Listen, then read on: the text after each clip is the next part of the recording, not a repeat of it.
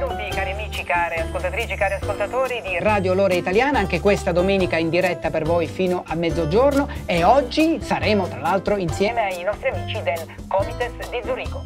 Ci troviamo negli studi di Radio Lora, una radio alternativa di Zurigo e noi conduciamo un programma la domenica mattina, Radio Lora Italiana, un programma che ormai ha quasi 40 anni. Il nostro compito è quello di informare la collettività facendo un servizio ai nostri connazionali informando su quello che succede qua in Svizzera. E l'abbiamo fatto anche durante la pandemia, proprio durante il lockdown, siamo andati in onda ogni domenica senza mancare una settimana. Eh, anche eh,